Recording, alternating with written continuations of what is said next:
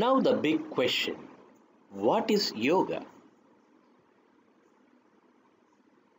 Patanjali describes it as yoga chitta vritti nirodha.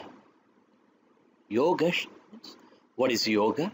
Yoga means chitta vritti nirodha. Yoga is about cognitive pass and unload.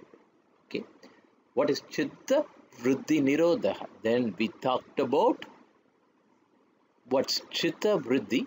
The vrittis are the cognitions about the world by every individual consciousness. That individual consciousness is about chitta.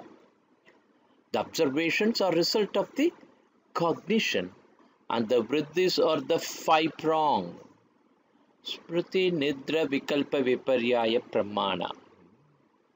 Okay, with this, the definition of yoga is given as Chitta Vritti, the, all the cognitive process, if we can pass it or unload it, okay, that's a psychological term that we have used, it's literally possible.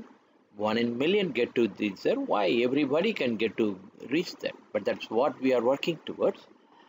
How to get that unload? Now we are in cognition overload, okay? Uh, information overload. All this giving rise to cognitive process working over time, okay?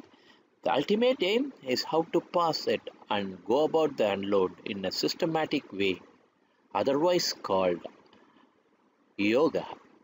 Whoever is on the process is called yogi. Yogi, yoga. Okay, thanks.